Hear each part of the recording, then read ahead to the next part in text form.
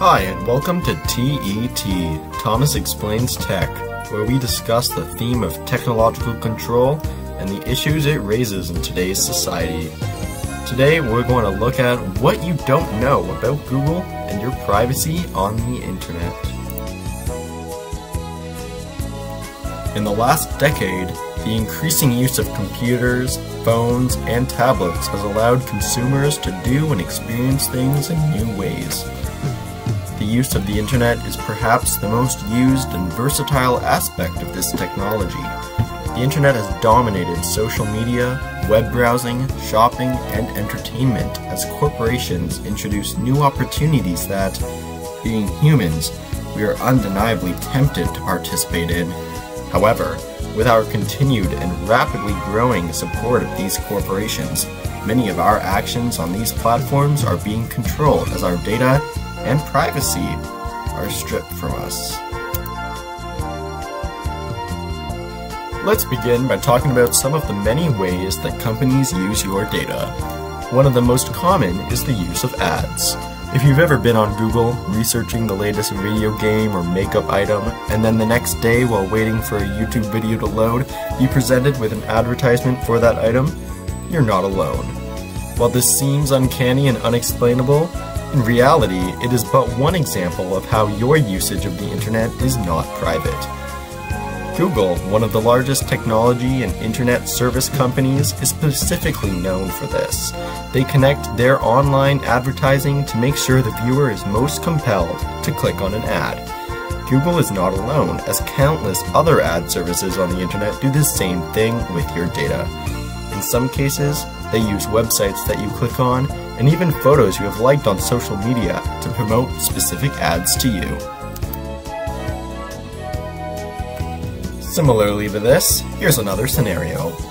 If you've ever Googled places to eat, it will have, in a very short period of time, detected over 1 billion search results. Assuming you want to find this information out from a reliable source as fast as possible, you would have clicked on one of the first links, rather than the billionth link. So how does Google determine the order of those links?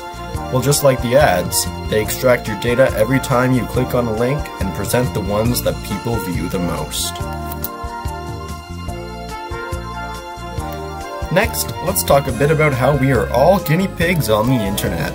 Well, not literally. However, whenever you click on or search something, websites, corporations, and even scientists use your data for their own research. Website owners can track how many people have clicked on certain links or viewed their videos and can modify their page as necessary. Here's another example. Data analysis can see how long you spend on apps such as Instagram or which posts you even liked on it. This next topic regarding technology controlling our lives, privacy, and data is our email. Many overlook this, however 74 trillion emails are sent globally per year. That's trillion with a T. Looking once again at Google and their emailing service, Gmail, not only does Google analyze the content of emails you receive and send, but they allow third-party companies to do this as well. In a letter reported by the Wall Street Journal in 2018, Google's Vice President of Public Policy and Government Affairs for the Americas reported that Developers may share data with third parties so long as they are transparent with the users about how they are using the data. And lastly, there are numerous ways that data can be tracked by official companies. However, there are also privacy threats on the internet of your data being stolen. This is the illegal side of the internet, where technology controlling our society is at an uncontrollable risk. Anonymous users online can use your data to share it on the internet or even steal your identity.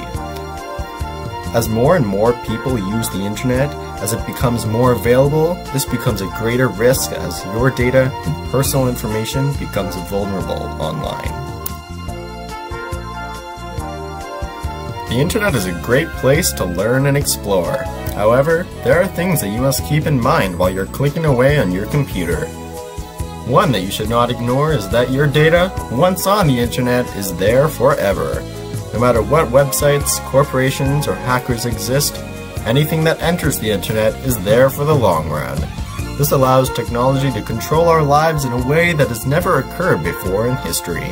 It makes you second guess where and how you use your technology.